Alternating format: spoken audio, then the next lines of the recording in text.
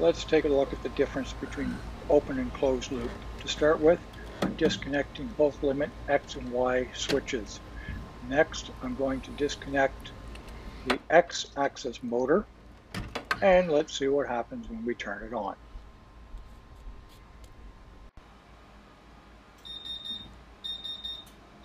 The x-axis does not move because it's been disconnected.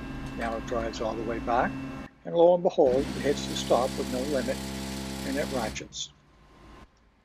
Now we'll reconnect the x-axis motor and disconnect the y-axis motor.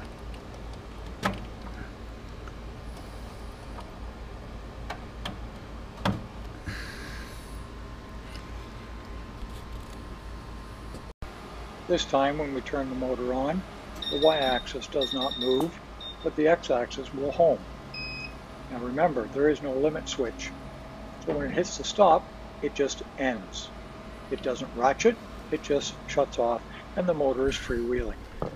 Now let's reconnect both X and Y as well as the limit switches.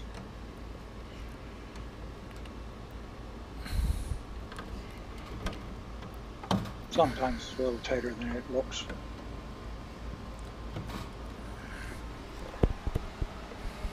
and we will turn it on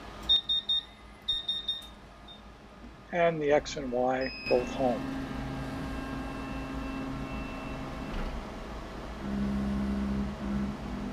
Now I'm going to move the gantry to the middle and the head over to the left a little. Watch what happens when I try to move the head. I'm actually putting a lot of force on this and it is not budging but the y-axis, I can easily break it and move it.